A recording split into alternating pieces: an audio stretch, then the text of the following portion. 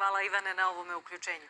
Peteročlana posada u podmornici, čiju potragu prati cijeli svijet, vjerojatno je potrošila sve zalihe kisika. No od potrage se i dalje ne odustaje, pa se podmornica koja je nestala kod mjesta potonuća Titanika i dalje traži.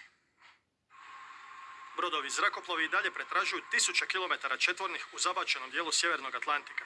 Na mjesto nestanka podmornice pristižu novi brodovi i oprema. Uh, this is still an active uh, search and rescue at this point, and we're using the equipment that we have uh, on the bottom right now, the remote operated vehicles, uh, to expand our search capability and then also to uh, provide uh, rescue capability.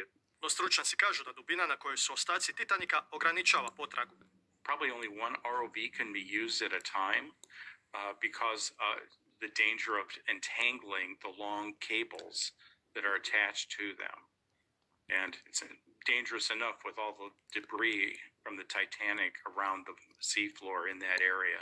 Odvodna daljinski upravljena plovila poslana u područje gdje su jučer i prekjučer zabilježeni zvukovi lupanja nisu ništa pronašla. Od potrage se ne odustaje, iako je prema procjenama američke obalne straže petočlana posada podmornice potrošila zalihe kisika. The equipment that's been mobilized for this is um, is the finest in the world, uh, the most capable in the world. Uh, we have to hold out hope. Uh, I think, as you're aware, um, there's still life support uh, available on the submersible, and we'll continue to hold out hope until the very end. I obitelji nestalih članova posade podmornice ne gube nadu. Mon père a participé à la première expédition qu'il y a eu sur le Titanic à la fin des années 80 et depuis c'est sa plus grande passion. Donc là qu'il soit dans un sous-marin et qu'il soit dans le Titanic, je sais que ça lui plaît.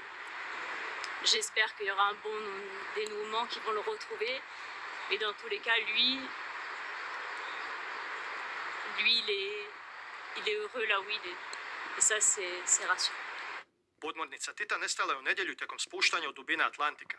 Posljednji kontakt s brodom na površini imala je još u nedjelju oko sati 45 minuta nakon početka zarona, 15 minuta prije nego što je trebala stići do cilja, ostataka Titanika.